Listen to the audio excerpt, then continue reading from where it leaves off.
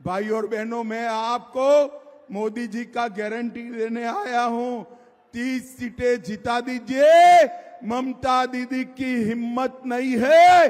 बंगाल के गरीबों के हक पर कोई संतरास करने की हिम्मत नहीं है, हिम्मत नहीं है। एक कटमनी जो चल रहा है ये कटमनी जो चल रहा है, उसको भारतीय जनता पार्टी समाप्त कर देगी।